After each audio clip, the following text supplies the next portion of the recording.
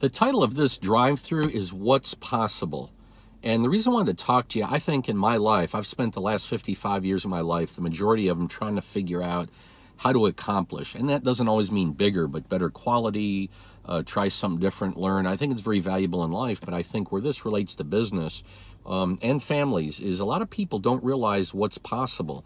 They have a tendency to look at the scale and they'll say, well, the scale from zero to 10 will never get to a 10 and blah, blah, blah. And I, I hear that a lot. And I guess what started to bother me about it, I guess today, uh, let's rate something 0 to 10 and agree we can't get to a 10. So maybe a uh, 9.5 is the best we can do.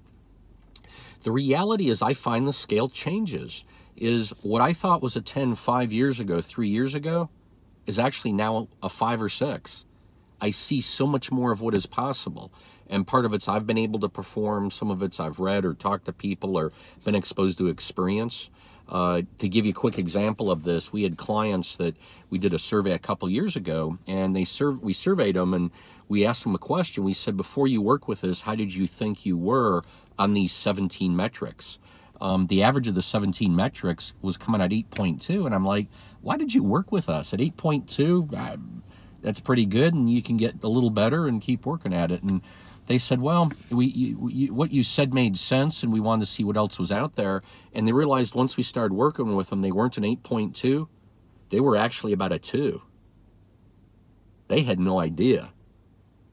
And they felt like they were an 8.2 today.